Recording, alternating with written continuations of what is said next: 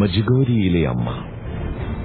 പരിശുദ്ധ കന്യകാമറിയത്തിന്റെ ഈ തീർത്ഥാടന പള്ളിയുടെ തുടക്കം കുറിക്കുന്ന ആദ്യത്തെ പ്രത്യക്ഷീകരണത്തിന്റെ ശ്രീമൂലസ്ഥാനമാണ് നമ്മൾ ഈ കാണുന്ന മലമുകൾ.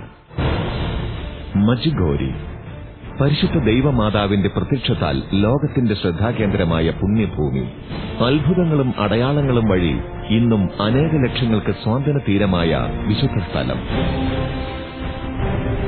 ചരിത്രവും വസ്തുതകളും അടുത്തറിയാൻ ലോകത്തിലെ പ്രമുഖ മരിയൻ തീർത്ഥാടന കേന്ദ്രമായ മജ്ഗോരിയിലേക്ക് ഒരു തീർത്ഥയാത്ര.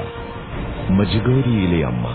ഓഗസ്റ്റ് പതിനഞ്ച് സ്വാതന്ത്ര്യദിനത്തിൽ ഉച്ചയ്ക്ക് പന്ത്രണ്ട് മണിക്ക്